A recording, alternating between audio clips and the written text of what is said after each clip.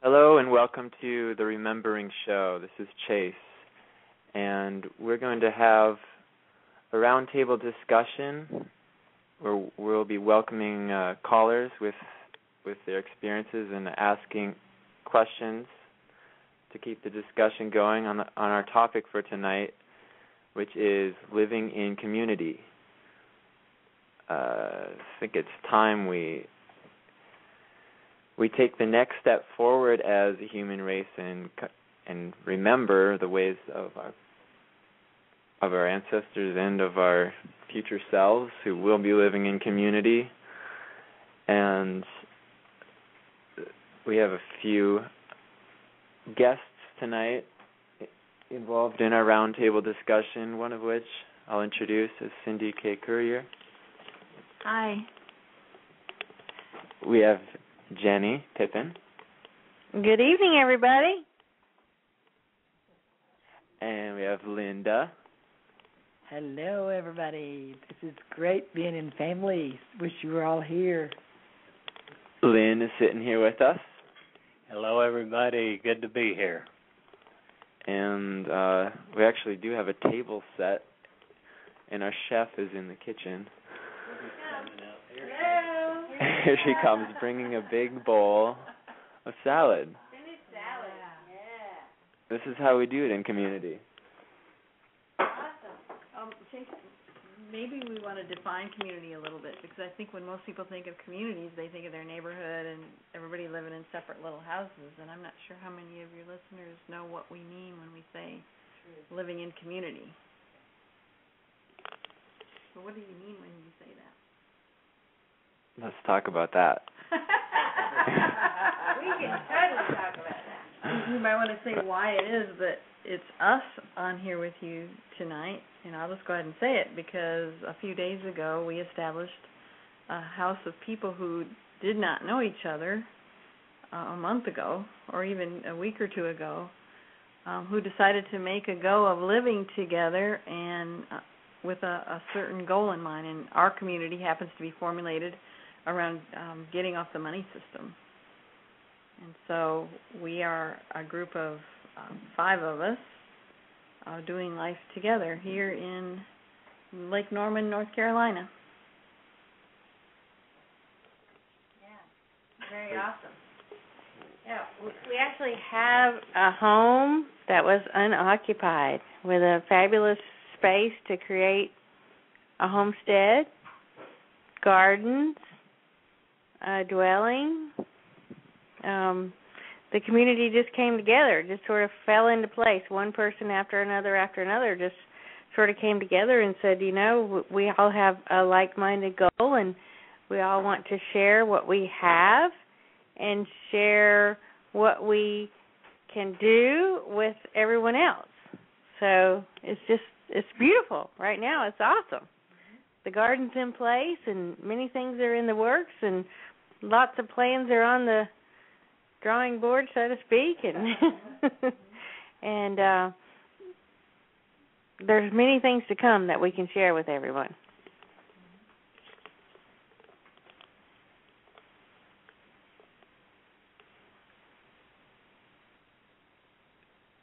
So, um, just letting you know again to any callers, we actually have two who are two callers who are calling in, and I can open it up to the caller from 919 and see what you have to say or if you have questions. Uh, 919, are you there? Hello?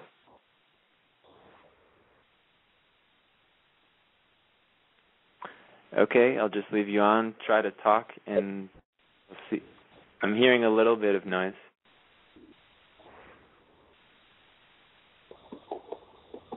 Maybe you forgot you pressed the button. Just talk and interrupt us if you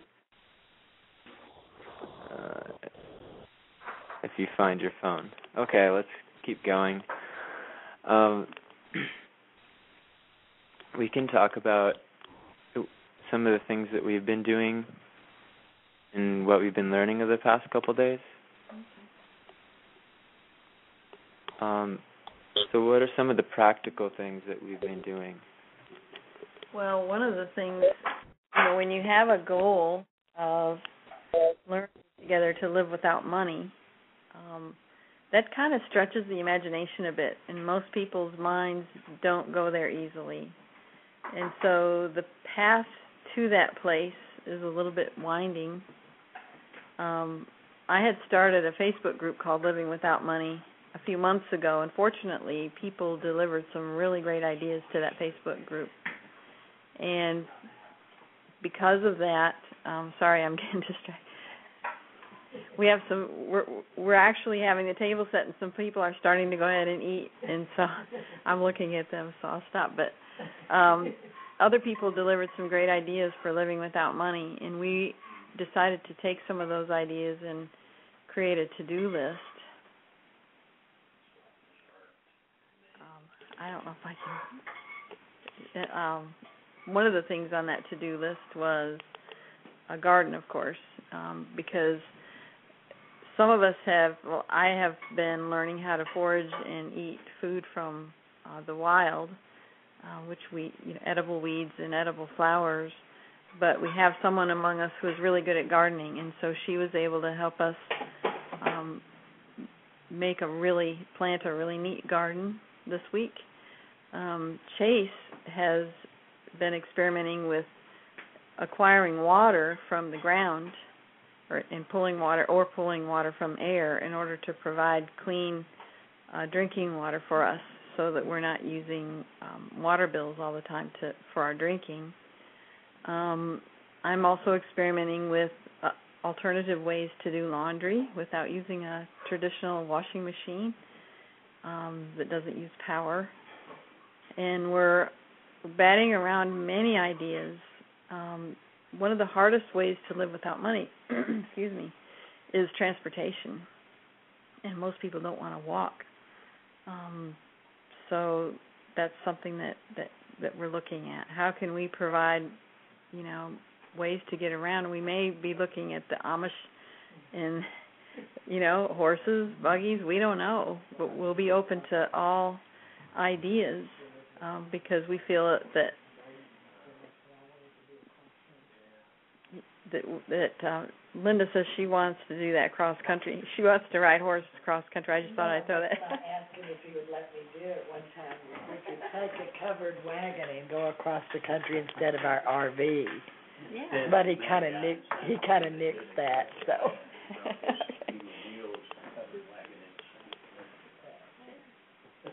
what you're getting here is dinner time conversation because the show is during dinner time for us right now. Um, but we've thought of many projects and we're open to many more. And are we living without money right now? No.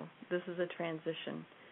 Um, our home is intended to be an educational uh, center. We want to be able to provide support and services to any community or group of people who wants to join us in living without money. Um, why would we live without money? Why do we want to live without money? I believe that if enough of us, maybe 10,000 or so, pulled out of the money system altogether, that we could collapse the system and start over. And that's our goal. We it's lofty and our group is just 5 of us, but we actually think we can change the world here. We are the event. They said we are the event. Uh, One of the main advantages to this experiment, and one of the things I'm learning, is that it's easy to, uh, if you have money, it's easy to just go to Walmart and buy what you need. You know, it, it, it, it's what most people will do if, say, they need a vacuum cleaner or they need a lawnmower, or they need some tomatoes. Um, but thinking outside the box has so many benefits because we've we've been learning how to develop relationships with each other and with other uh, other people in the greater community. And just in the topic of food, you know, it's easy to go and buy it from the store. Um, a lot of times I don't know who grows it. I don't know where it came from or how they treated the soil or uh, things like that. And I'm a, I'm a bit disconnected because I I think it the first 20 years of my life I didn't know where food came from. I didn't know that a hot dog didn't grow in the ground. Spaghetti trees. They're saying. Um, so I, it's a huge learning process, and there's there's so much more to learn, which makes me really excited to continue this. Um, one of the things that we are looking at is for the garden, uh, compost, manure, and it's it's simple to go to the nursery and buy manure or soil or compost. They don't always have what exactly what we're looking for. Um, but there were some alternatives as I looked into it. A lot of people were giving away free manure. Uh, so there's an abundance of of of abundance of crap in this world, and it's useful crap. And- Free poop. it's kind of like that that old phrase that another one person's trash is another person's treasure and that's where i see the efficiency coming into play in in becoming more community oriented because if we're all communi- if we're communicating with each other then we will know who has what materials and resources and they'll be able to post a Craigslist ad or they'll be able to raise their hand and say I have I have Wood chip. wood chips is another thing we're looking for. Um and if we had communication happening, we would all be able to find exactly what we need. It, because the abundance is all around us. It's just there's only so many things that the stores are selling and only so many things that are profitable um even in the food markets it's we're only getting a fraction of the fruits that grow. Um only certain fruits can can be shipped and marketed and sold um without being turning rotten before they get to our mouth. Um those are those are just a few things I've been learning um there's also just learning how to work together as a team. And I've been pretty much a solo solo flyer my whole life. And if I had problems with people I could always just leave and find some other people. But here as we as we commit to this community and this family then I'm not afraid to stick around through the the times of uh little emotional flares or frustrations or stress, anger. Um we haven't had much of that. Um but we when we do it's it's like there's this underlying understanding that it's just a temporary thing and it's it's not something that's going wrong something is something good is happening because like a marriage. Lynn says it's like a marriage. You have little flare-ups. You have little flare-ups, but if you have a basic foundation, which Linda and I do, which is a spiritual foundation, they're just little flare-ups. And yeah, you know, we have them every once in a while, but they don't last very long. We don't we don't uh, seethe and try to get even or anything like that. They're just they're just human things. You just misunderstand someone sometimes. And if they understand that it's just a misunderstanding, it doesn't last very long. You can explain your way out of it real quick. And the easy route would be a divorce, Right.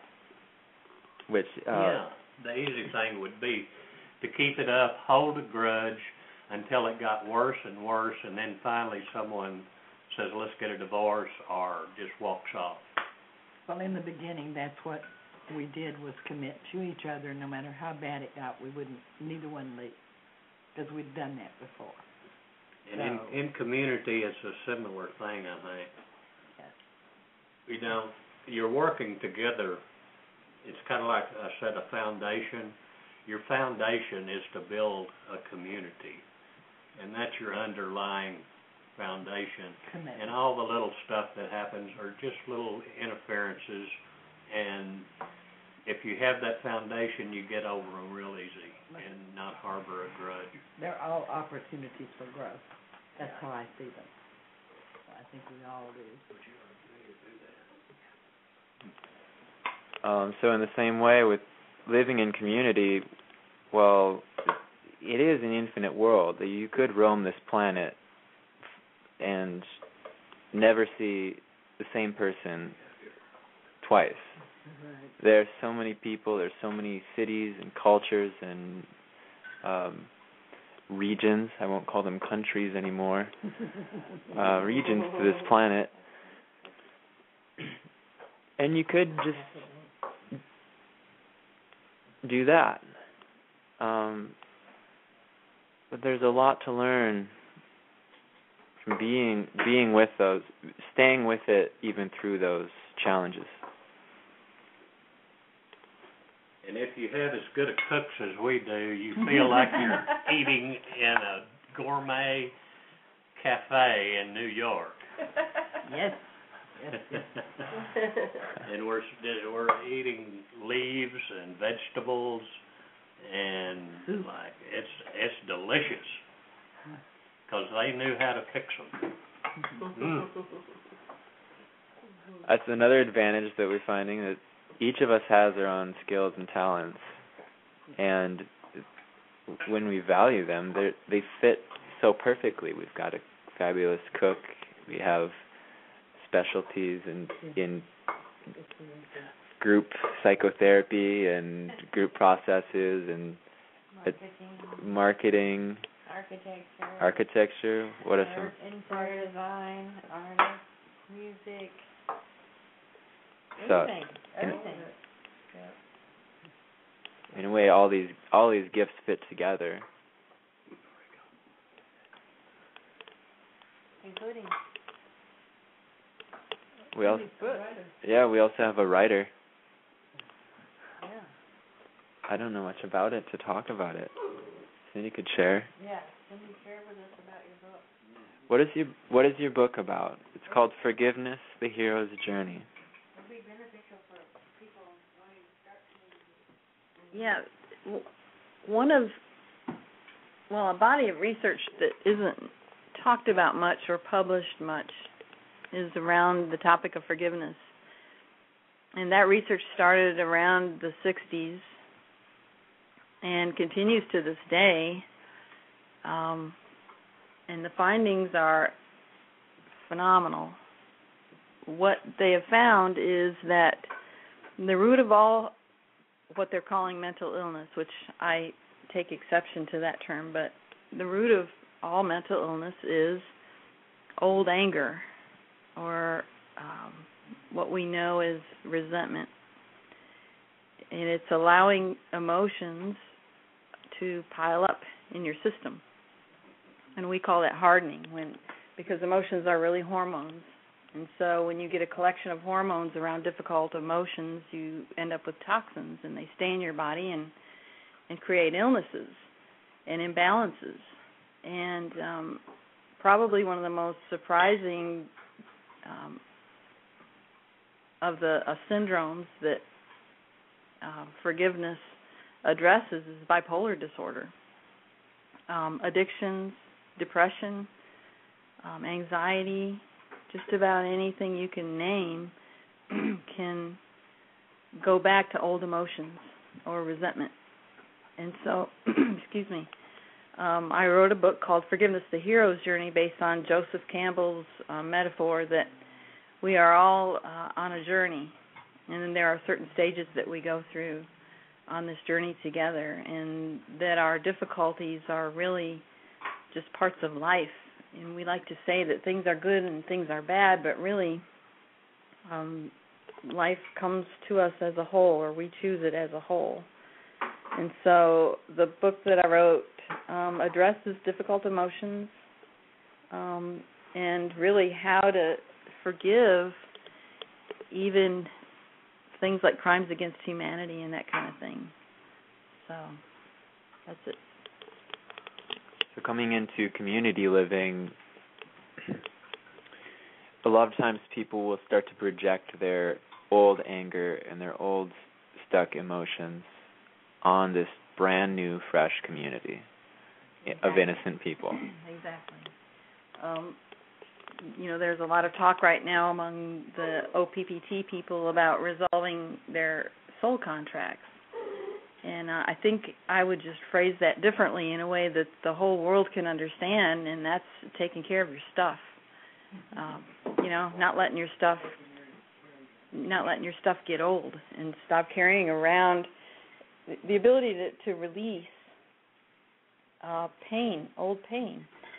And of course, grief is a natural process, and we all go through it, and and we're all going to have pain. That's inevitable, but suffering isn't. We don't have to suffer with our pain. Um, but we choose to by bearing it and allowing it to get old and hanging on to it. Mila is a is a puppy dog. She's want, wanting to say something in the radio. okay. Sorry about that. Mila is the the the fam one of the family dogs. um, but living in community, if if your triggers are there, it, they're going to get tweaked. And what I've found is that if people are getting upset about something, usually it's, it has something to do with the trigger in themselves. And um you know, people can get upset about the least little things, or it can take a long time for them to get set. It can take a long time for something to set them off. Um, either one of those things can be um, trigger material. A lot of people are afraid of conflict, and so they will do like Chase said, just walk away. Um, you know, avoidance would be something that that people would look at. So when you're in a place of being able to resolve your issues, your old pain, um, then you are, find forgiveness much easier. And, and I guess forgiveness isn't just saying, "Oh, that's okay," you know, you just kicked me in the shin. forgiveness is taking responsibility for yourself. It's giving responsibility where it belongs. Um, we're not going to forgive and forget. We're going to remember what people have done and what we have done. And living in community together is being uh, requires being really honest with each other and saying, "Yeah, you kicked me in the shin, and that really did hurt," and then letting it go. So there's, you know, this is spur of the moment. I didn't plan on talking about this at all. so um, sorry if I'm chopping it up. One thing I'm thinking about is, you know, we can define community as this small group of people. We got seven people around the table here, um, but we're also part of a greater community, or a, the larger, the bioregion. You know, the the whole continent. You know, the whole planet, the whole universe or multiverse. Um, if we take it to the level of uh, what we see in mass media, there's a lot of people watch the news each night, and a lot of people now are moving towards more alternative news and seeing what's going on in the world through uh, Facebook articles and blog posts. Some of those things seem to trigger people, mm-hmm. and just in the same way as they trigger, you know, you'll you'll find your triggers in a group of seven people. You find it in the in the in the larger society as well. Cindy, do you have any thoughts on on this? Yeah. The brain is a funny thing. The area in our brain that registers our sense of self is located right next to the area of our brain that registers emotion. And so when we feel strong emotion, we have a strong sense of ourself. And so we tend to overblow things, all of us do. And we all tend to take things personally when they're not. And we do that just because of the way our brain is constructed. And so I think if we know that ahead of time that if we're feeling something strongly, there's a really strong likelihood that we're overreacting. And um so yeah, I think in community it's really easy to take something personal that wasn't meant for you at all. And I think one of the things that um one of the things that's unusual about our community is that so far anyway, I I'm not aware that that we have had those kinds of of things with each other. It's been relatively smooth, and I and I'm just as puzzled about that as I as I am anything. And and so I think along the lines of your question, um, what we have done that's different, I think, is we have processed those things. We have sat down every day with each other and said, either what are my blind spots or where where do you see me being triggered or can you give me feedback about how I functioned today in this group and and we talk about that every day and sometimes more than once a day. And I think that is unusual, but we're able to talk things through on a regular and consistent and persistent basis. So far we've done more talking than we have working, and I think that that has contributed to our success so far. So, it, you know, as far as things in the world triggering us, we're kind of right now we're, we're in an insulated little bubble right now, and and of course we're on our honeymoon. We're honeymooning, so so things we're on our best behavior. I'll, I'll grant you that. and who knows how things are going to roll out in a month? We may be at each other. I don't know. But I think the way we're functioning right now, because we're so aware of possible triggers and so aware of our own emotions, and we're aware of our, we have insight into our challenges. Um, so I think that that the conflicts are mitigated. Another thing about us that I've noticed is that each one of us are open to and able to accept negative feedback. Most friendships or people in in life who get really really close develop the kind of trust where they can say pretty much anything to each other. And we decided we were going to act close from the beginning. You know, we were just going to trust each other on that level. And Wes and Jenny allowed us to move in to, you know, uh, the home that they offered. They just trusted us that we weren't going to tear it up. yeah, yeah. and and we trusted them that that they really were offering what they said they were offering, and we've trusted each other um, with our with our issues and said, "Here's an area where I'm weak, so please call me on this if you see something." You know, so I think that that uh, has contributed to our success so far. What do you guys think? I think I wish I could talk like you. No fear. No, no fear, Wes, no fear. Well, you know, not the good thing is nothing has been really pre-planned or destined or anything. It's just all in flowment. Oh, There's that right on. there's that word employment. It's just falling into place as it needs to on a day to day basis. We just get up and, and we smile at each other when we get up and we're like, okay, what's on tap for today? And we just sit down and we talk and we figure it out and then we go and do and and and everything is is working out so far very well. You know, we just plan things on a day-to-day basis and we just move forward a day at the time. And and that's really how it's going, just a day at the time or an hour at the time.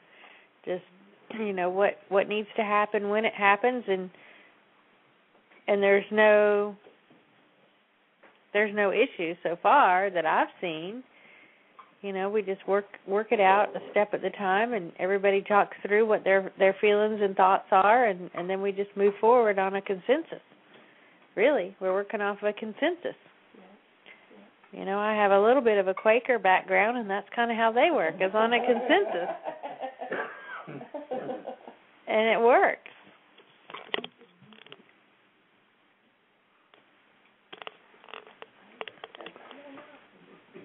We have uh we still have that caller who was on and we have uh an extra one.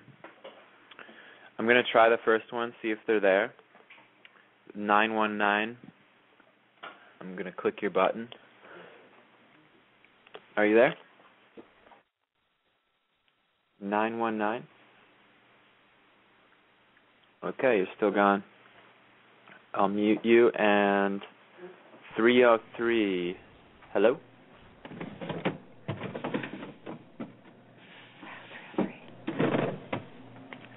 Oh, is that me? That is you. Oh, hi. Um, I just connected. I really don't have a question or anything. What are we talking about tonight, by the way? You're tuning into the Remembering Show, and the topic is living in community. Okay, well, last night I called in about people meditating to try to prevent this war on Syria, and I think that's about community. And I hope everybody's going to continue to do that tonight because David Icke says, don't demonstrate, um, meditate, and we can stop anything. And we don't want another shock and awe in Syria. Absolutely not. That's tremendously horrible damage and terribly expensive and a big drain on on us spiritually as well as physically. So maybe everybody could think about meditating tonight and trying to prevent that horrible disaster from happening. And I'll be done. Thank you so much. Thank you. Bye. So there's an example of someone reaching out. There seems to be a need in the community, and that is one one thing that I've had to learn how to do since I was mostly individual doing it myself. Um, I actually had to reach out and ask for some support in my own goals. I'm glad this I didn't even get her name, but I'm glad she reached out with one of her own goals. hmm Yep, and kind of got distracted by the soup. Lost my train of thought. Matthew is the the co-host of this show. He's he's gone this week.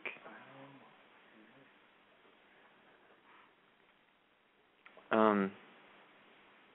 So yeah, one of one of the things I've had to learn is to to ask for ask for help, even if it's not something like I need help tying my shoes or something like that. I just need to ask for, um, I guess, energetic support. And to me, that just means people know what my goals are, and they're they're happy to uh, they're happy to help in any way. And having that sort of open, authentic uh, friendship is that's something I'd never had before. And being able to recognize each other's value and helping each one of us to see the value in ourselves. Not everybody actually realizes they have value. You know, they see it in other people but not necessarily in themselves and and having someone else help you to realize that helps to bring out magic, I think, you know. It, it really is. Uh, When you can when you can help someone understand the value that they bring to the community or for themselves, I think it just kind of lights their fire. You know, they just light up and things happen and magic can can be created from that. You know, we just all help one another with bringing out whatever our gifts are. You share your values. I think. Yeah, you share your values, and I wanted to comment on the word community. Uh, it comes from from the base word commune, which means conversation, is having a talk with someone besides yourself. In other words, you talk it out. You don't go, you know, and hide and and seethe and and become angry or something like that. You talk to the person. You commune, and therefore you're in community, and uh, that way you get to understand the other person, and the other person gets to understand you, and it clears so so much pro- so many problems that could arise, and uh, that's what we're all about. Um, Jenny, what were you helping us this morning seeing our own value? Well, what was that conversation?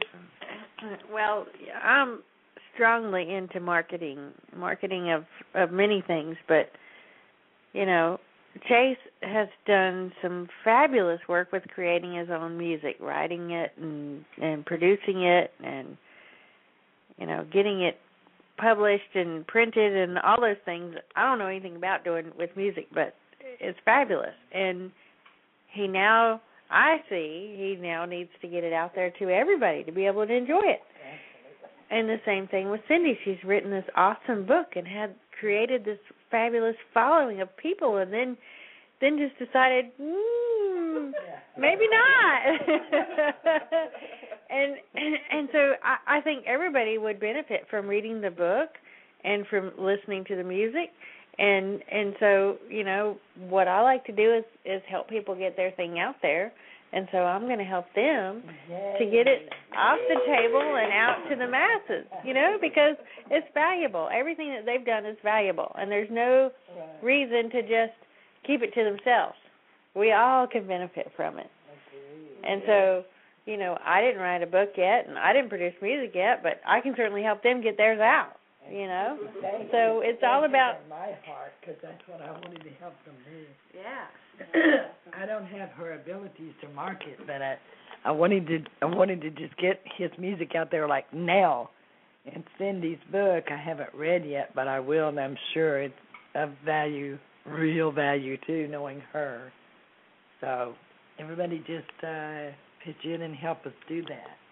Help Jenny do it, whatever way you can. Are you calling us hoarders? that we're not sharing our value? Yes, your orders. Yes. You're hiding, you're hiding your light under the bushel, and it's time to take all of our lights out of the bushel Mm. and start shining. Yeah. Mm. Yeah. It's time to shine all of our lights. Not just Mhm. yours, not just yours, but everybody to shine their lights. It's Yeah. time. Everybody has a value to share. We're the ones we've been waiting for. Yeah. And don't we love it? Yeah, absolutely. It's Oh, past yeah. time. Yeah. It's Totally fun. past time.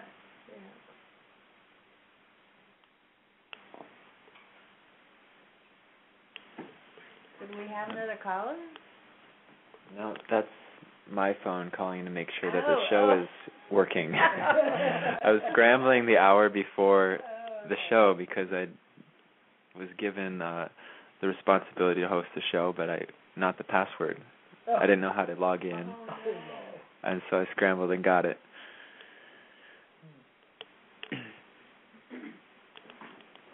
This conversation that that we're just sharing right now brings us to another really good topic, and that is the Ubuntu philosophy. Um, every single person on the planet possesses abilities or talents or gifts to make the world a better place, without exception.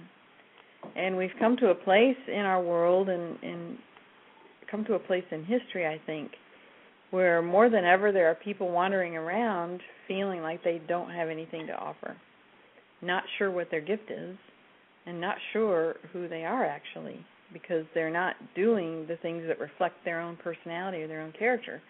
Instead, they're getting up at a certain time every morning and going to a slave job and collecting a paycheck and coming home and going to bed and and doing the same thing day after day after day in the ubuntu which i'm using a word that comes from um it's a tribal word African tribal and Native American tribal word that means without me without you there is no me and together we are strong. And the connotation of having an Ubuntu community is that we are all valuable and so no one is given a job to do. Would you like to comment? I thought there might be some really good comments being made from. We've been we've talked on several radio shows, and Sherlyn has not spoken yet, and so I saw her talking over there in the corner, and wanted to. Sherlyn is one of our uh, tremendously valuable um, family members, community members. She has so much to offer. She's an example of one who just would sit back in the background and not be heard and not be recognized for all that she brings. But in Ubuntu, everybody's recognized because nobody has the assignment of going to work and bringing home a paycheck. It's expected that everybody uh, will function in a way that reflects them. And when they do that, when everyone in a community is allowed to do that, the community thrives. And all through history, that's been the case until money was introduced, which was a long time ago. Um, some cultures adopted money and some didn't.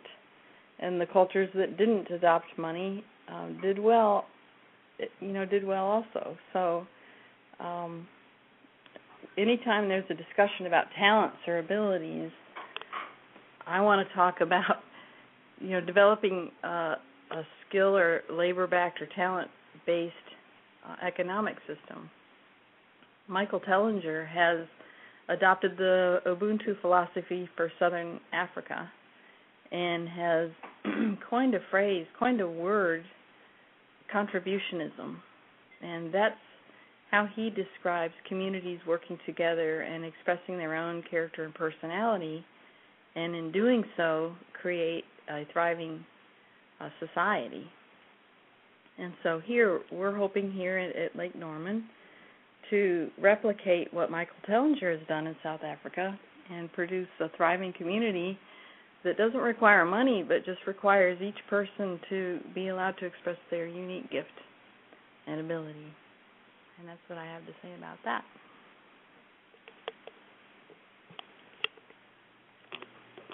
We have a caller. Well, we have a human being who's calling in. and I'm sure they have value to bring. So I'm going to unmute you, Stefan. Are you there? yeah, I'm here. Hi. Welcome Hi, to the show. Thank you for having me. How are you doing? I'm doing really well. Uh, I actually didn't have my hand up. Um, this, uh, and I just tapped in. I've just um, managed to dial in to the show today, so I'm really not um, up on where you guys are. But um, hey, let's go. so the topic tonight is living in community. Okay. Yeah. Um, well, um, uh, I've um, recently, uh, um, I guess, relatively recently made a change uh, in uh, my life while I was uh, a member of um, a, fam- a little mini community, that being a three-person family, and uh, I guess five days a week, traveling to a little bit of a larger mini community, which was my workplace. I've um, kept uh, in my little family community. I've left the, the, the larger work community and I'm expanding into other communities that are, um, uh, I guess, more in line with uh, how I want to be and and where I want to put my energy. And uh, um, I've been touching base with some one people's uh, groups here uh, locally, and uh, and getting involved in uh, the uh, the my son's school, helping out at school, and it has been incredible, incredible uh, working uh, with uh, kids is um, is where it's at, and I know that these communities have been interested in the Sudval or Sudbury Valley models as they've been um, brought to the attention of um, of uh, those who are regular listeners listeners to the 5D shows. And uh, one of the tenets Where of are you located? Sudval, I'm located in um, uh, Melbourne, Australia, so near the South Pole. Um, and um, yeah, basically the Sudval model is giving uh, uh, uh, kids or children or young adults uh, a voice in uh, the community, in their community. So everybody actually has a say. So it's uh, it sounds revolutionary because hey, we're going to let the young guys have um, have a vote as well. But um, that's what a community really is, right? That's um, the, it's not a group of people making choices for um, uh, the greater. It's uh, everybody having a say, and um, there's no no surprise that um, that we're um, asking these questions, given that uh, the current paradigm that we reside in is um, labelled as democracy, when the actual uh, construct itself feels like it's something else, whatever you want to call it. Um, interestingly enough, it's um, there's an election um, here today. Um, this is it in Australia. The people are um, being told that today is the day that they um, uh, must cast their compulsory vote to choose um, um, who's going to Breaking lead. up a little bit. You're saying they must cast their compulsory. vote for the prime minister of the country. Are you there, Stefan? I'm here. Uh, so you were breaking up. Am I back? Yep, you're back. You were saying today's the day they must cast a compulsory Vote. their vote. Mm, yeah, it's the um, election the, uh, for the government uh, in Australia today. hmm So how do,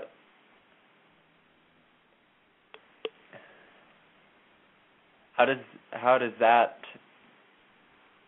how does that sound to you? I, I mean, a compulsory vote.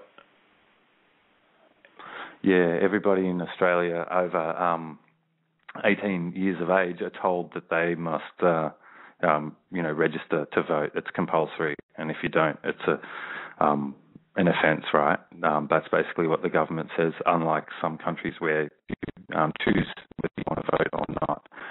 So, um, today's the federal election, um, and um, yeah, it's where the uh, community decides either in this democracy. So it's interesting that now we're talking community today because it's a federal election here.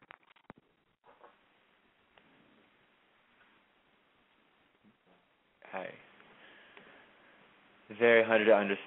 Very hard to understand your um, your phone. I think it's it was cutting out for a moment, but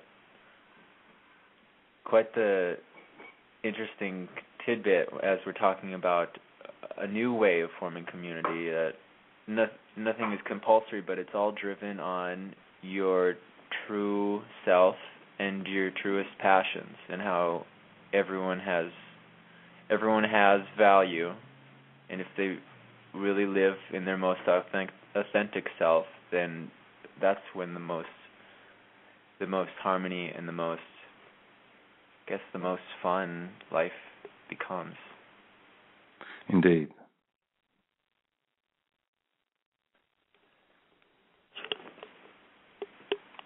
Stefan, is Indeed. there any That, go on.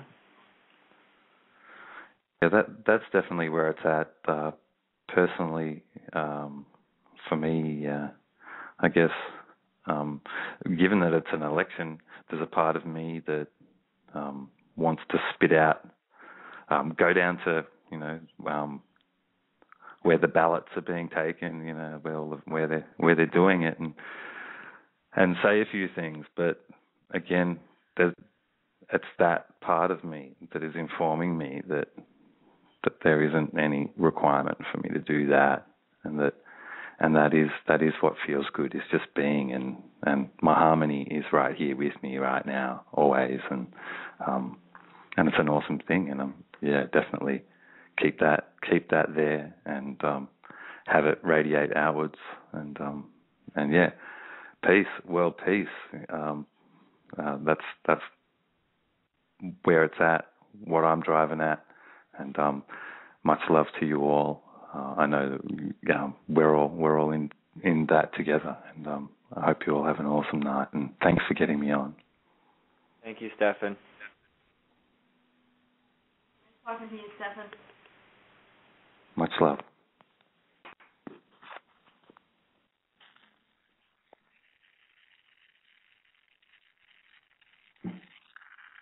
we have another caller in the queue,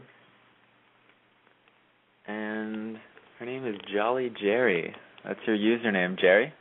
that would be me. Hi there. I uh, actually just uh, came back in. I was outside and I just tuned in for your last little bit, and I heard you say you were talking about community. And a little while ago, I wrote a poem about community, so I thought maybe I'd share it with you. Oh, do share. yeah, well, it's entitled Community. And it says, We the people, we are one. We live in harmony under the sun. We broke the chains and now are free to cooperate and live in community.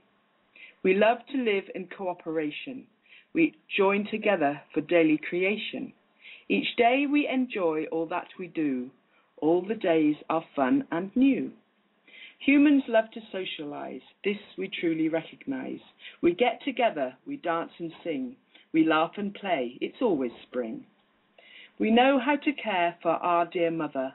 We love her just as we love one another. We nurture and care for this dear land. Humans and nature work hand in hand. Life on earth is now such pleasure. It's a time that we all treasure. Community and friends is what's it about. Our lives are fun, there is no doubt. There you are. oh, how beautiful. Wow. Thank you, Jerry. Thank you, Jerry. Am I talking in the right side of the phone? You talking in the side? No. Thank you, Jerry. That was beautiful. Do you have any more? Um, I've always got more. Have you time for more? Let's see what Yeah. else is. There's one. What did I say? I saw one. Another one. Excitement. Oh, yeah. This one's fun. I feel excitement. I feel excitement in the air. People are joyous everywhere. What's occurred? What's going on? People are bursting into song. Love abounds. Vibration is high. It feels like we could touch the sky. Emotions are positive. We start to dance. We move in harmony and balance. The day is here. Humanity is free. Peace broke out. And all that we, the people, work for with such intent has come to us. It is heaven sent. We have free will choice and the right to live in harmony and balance so that we can give and receive in cooperation with all on earth, living our lives in joy and mirth. And so it is, it is done. We the people, we are one. We live together in harmony to do and be. Yes, we are free. That was in anticipation for this freedom that's coming. It's here. It is ah. done. Thank you so much, Jerry. Thank you so much. How are you doing after the big weekend? Oh, great, thank you. The energy was rocking, so yeah, I was blessed to be Wow. able to go. Yeah, it was wonderful. I really enjoyed everybody's company and ah, had well, good we're time. being, yeah, it's. I think all of us still haven't come down yet, so you're in good company. I think we have one minute left, so I'm going to give this to Chase. Yep. I don't know how to close it off. I, I think it's a continuing conversation. I, I don't think we have to close it off. Yeah. It's Jerry. Are you still there, Jerry? I, I think I am. I'm here. It's so neat that you called in at the very last because we feel that we feel you here. You gave us each one of your book of poems, and we have a piece of you. Oh, Feel that you're part of our community. So thank you for calling in. Yeah. oh, well, You're here with us for sure. Cheerio, Jerry. Cheerio, cheerio, everybody, cheerio. and Linda and Lynn are here with them for the night. Hi, Terry. This is Lynn. Linda's here. Oh wow, everybody's here. Gosh, you lot. Wow. How wonderful. That's all Lovely, folks. Get around. lovely, lovely to hear you. Lovely to hear you, all of you. You too. We love you, Jerry. I love you guys too, all of you.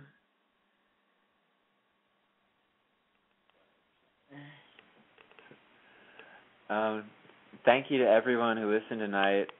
Your value is truly appreciated. And we're about to close the show right about now.